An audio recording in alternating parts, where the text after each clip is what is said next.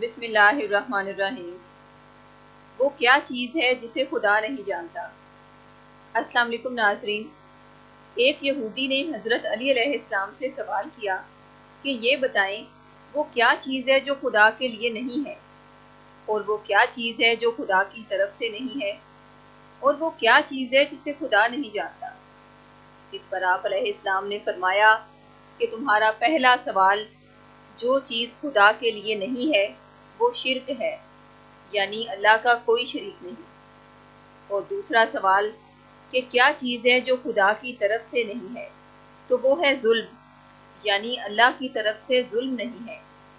اور تیسرا سوال کہ کس چیز کو اللہ نہیں جانتا تو وہ تم یہودیوں کا یہ قول ہے کہ حضرت عزیز علیہ السلام اللہ تعالیٰ کے بیٹے ہیں